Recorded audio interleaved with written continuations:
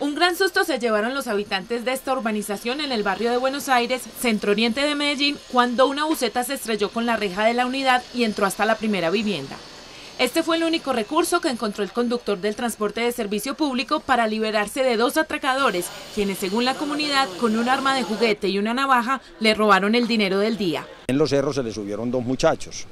Cuando venía llegando a la unidad, le sacaron una pistola de mentiras y un cuchillo y el taxista se vio entre el revol, entre la pistola, el cuchillo y un taxista. Y ahí fue donde desvió el carro y lo tiró hacia la unidad. Cuando nosotros nos dimos cuenta, él estaba pidiendo auxilio. Uno de los ladrones logró huir, mientras la comunidad atrapó al que tenía el dinero y luego trató de hacer justicia por mano propia hasta que llegó la policía y condujo al presunto ladrón. Y uno de ellos amenazó al, bucero de que, de que pues, próximamente le iba a, hacer daño, pero la policía dijo que le iba a, dar protección. En el hecho no resultaron personas heridas, pero sí daños cuantiosos en la urbanización. La buceta fue retirada de la entrada media hora después del hecho, mientras que el conductor interpuso el denuncio en la fiscalía.